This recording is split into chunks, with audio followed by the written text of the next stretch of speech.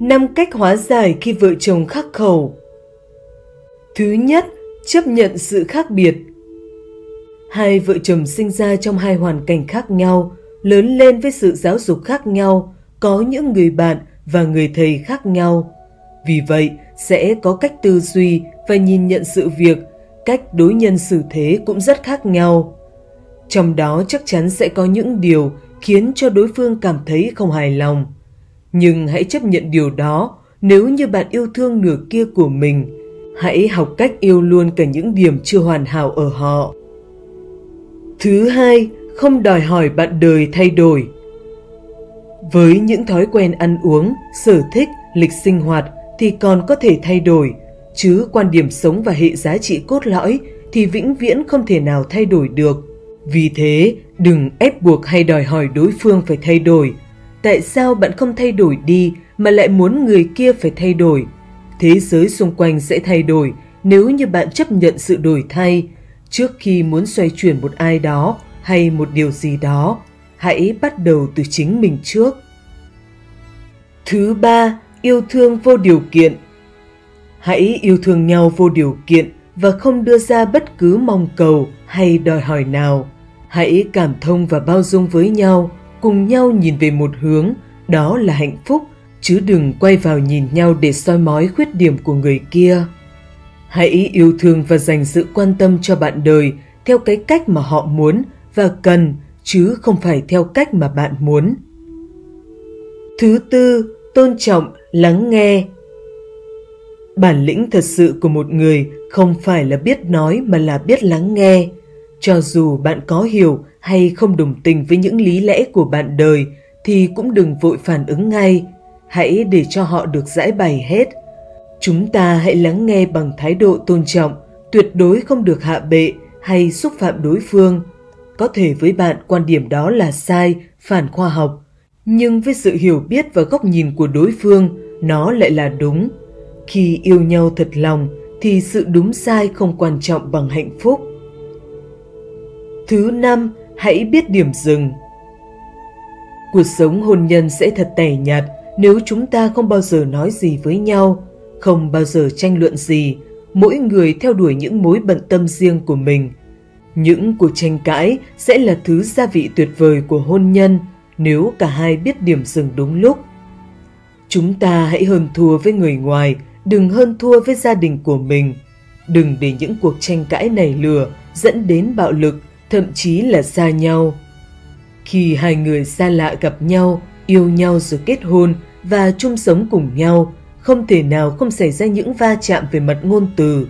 Ngay cả chính mỗi chúng ta cũng có khi xảy ra sự tranh luận giữa hai luồng tiếng nói từ bên trong. Chỉ cần chúng ta biết cách tĩnh tâm để lắng nghe một cách kiên nhẫn và phản hồi một cách tôn trọng thì có thể tránh được những hậu quả đáng tiếc xảy ra thứ nhất, nếu chưa tìm được tiếng nói chung, thì hãy chủ động im lặng.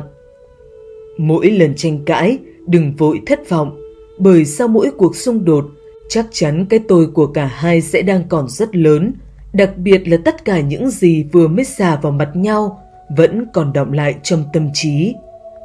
Những tổn thương vẫn còn hiện hữu chưa lành, nên vào những giờ phút như vậy, tốt nhất hãy tạm cho nhau một khoảng thời gian ngắn để ổn định lại tinh thần và nhìn nhận lại sự việc một cách thấu đáo. Khi cảm thấy đã ổn, cơn giận đã qua, hãy nhớ tìm lại nhau để nói lời yêu thương bạn nhé. Thứ hai, dù tức giận đến mấy, cũng không được đe dọa bằng ly hôn. Hai người quen nhau, yêu nhau, đến với nhau thành một gia đình không hề dễ dàng, nên đừng bao giờ vì những mâu thuẫn, tranh cãi mà nói ra hai chữ ly hôn. Vì trong lúc ta kích động, khó tránh khỏi sẽ đưa ra sự lựa chọn sai lầm, khiến bản thân hối hận cả đời.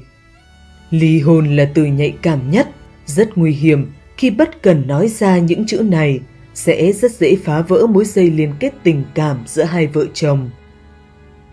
Thứ ba, không lợi dụng những điểm yếu của nhau để công kích đối phương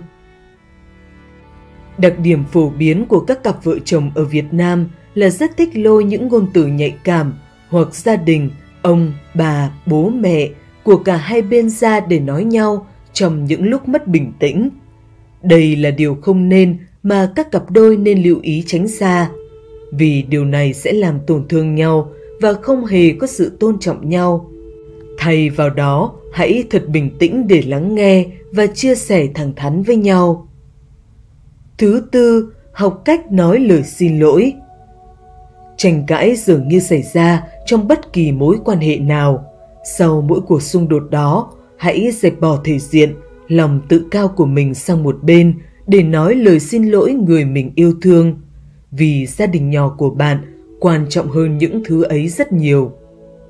Muốn giữ gìn hôn nhân âu yếm, cần nhớ những thời điểm phải nói lời xin lỗi để người bạn đời của mình thông cảm, thấu hiểu cho những sai lầm của mình. Lời xin lỗi chân thành có thể nói thông qua tin nhắn điện thoại, ghi vào giấy, nhờ con cái chuyển lời hộ. Học cách xin lỗi vợ hoặc chồng sẽ khiến tình cảm gia đình thêm hạnh phúc. Thứ năm, ghi nhớ những nguyên tắc trong cuộc sống hôn nhân. Cố gắng đừng đi tới mâu thuẫn, cần có tính nhân nhượng, muốn thế phải có lòng độ lượng, sự tự chủ tinh thần, sức mạnh ý chí. Đừng che giấu sự bực bội đến hôm sau, mâu thuẫn bộc lộ càng sớm thì ảnh hưởng mang lại càng nhỏ.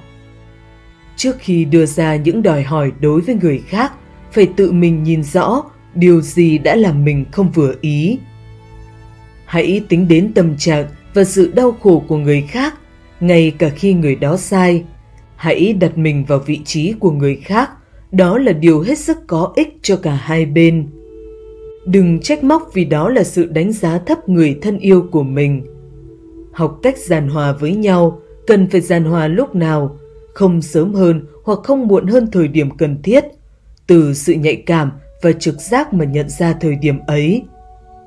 Học cách thường xuyên duy trì không khí tốt lành trong gia đình, học cách kiên nhẫn, quan hệ tốt đẹp trong gia đình được hình thành từ những cái dường như nhỏ nhặt.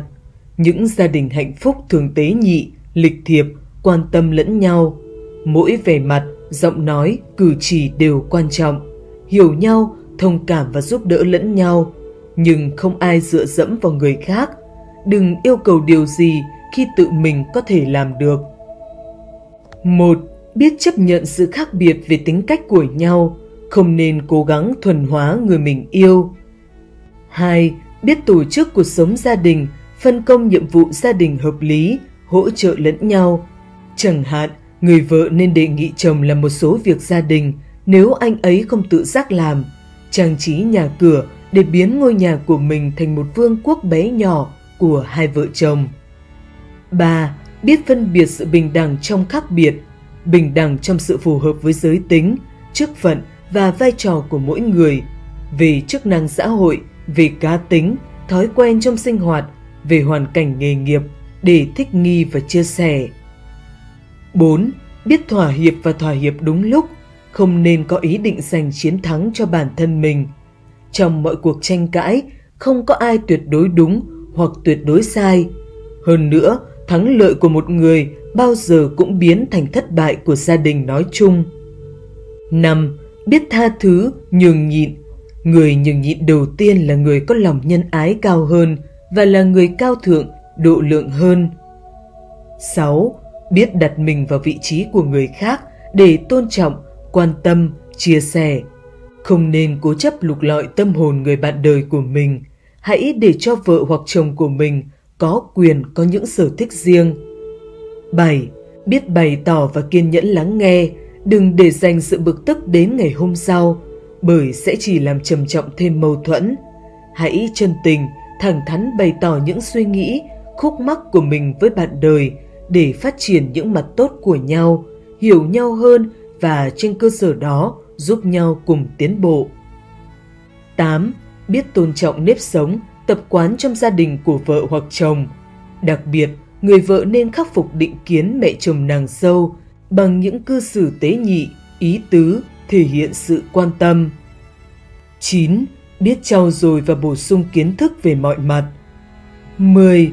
Biết và sử dụng hợp lý ngôn ngữ giao tiếp, biết cách lắng nghe, có thái độ ôn tồn hòa nhã trong mọi trường hợp, biết cách im lặng, biết dùng những lời nói dịu dàng, giọng nói bình thản nhẹ nhàng trong giao tiếp với nhau. Cần thiết đối với cả hai vợ chồng, nhưng đặc biệt cần đối với một người vợ.